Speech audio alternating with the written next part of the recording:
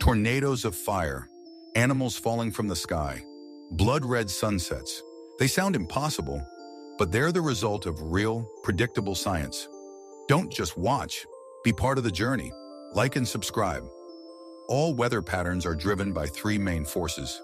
Thermodynamics, how heat moves between earth, air, and oceans. Fluid dynamics, how air and water flow, and solar radiation, energy from the sun heating the planet unevenly. When conditions align just right, you get extreme phenomena. A fire tornado or pyrotornadic vortex forms when rising hot air from a wildfire spins rapidly due to wind shear, creating a rotating, flaming column fueled by intense convection. Raining animals happen when a waterspout, a tornado that forms over water, creates a low-pressure vacuum strong enough to suck frogs, fish, or even small crabs into the air. These lightweight creatures travel with the storm system in fall when the updraft weakens.